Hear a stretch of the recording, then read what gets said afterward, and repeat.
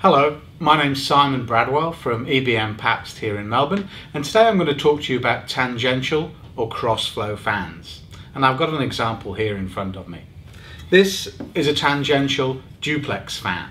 This means that it's got two impellers being driven by a single motor and you can see the motor in the middle there. That's a shaded pole motor or open stack C-frame motor. Now tangential fans are often called cross-flow fans because the air comes out across the whole width of the, uh, of the impeller. So here is the air input in this area here, and here is the air output. So air comes out across the whole of the length of this open mouth here uh, towards you. Now, the velocity of the air coming out of these fans is typically very low and the noise of this product is typically very low and therefore they're often used for domestic type applications but also the air volume that comes out of these is very low as well, so the applications are somewhat limited. However, the reason why they're used is because you get this nice laminar airflow across the whole length of the product.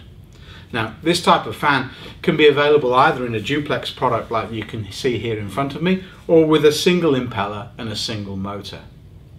Now, I talked briefly at the beginning about the motor. This is a shaded pole motor.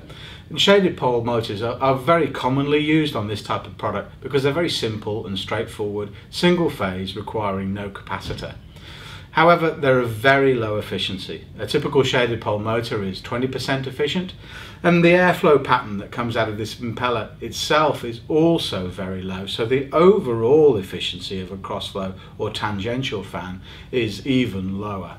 Now, the efficiency of this type of product can be improved by putting an EC motor on it, for instance, where ebm-papst we have single shafted and double shafted motors available for tangential fans and this allows the product to be simply speed controlled with a 0 to 10 volt uh, and increases the motor efficiency by 30 to 50% depending upon the motor size.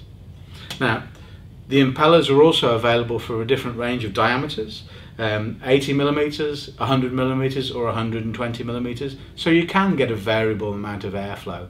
And typically the larger diameter products with a high efficiency of motors are often used for electronics cooling. In summary, today I've talked to you about tangential or cross-flow fans.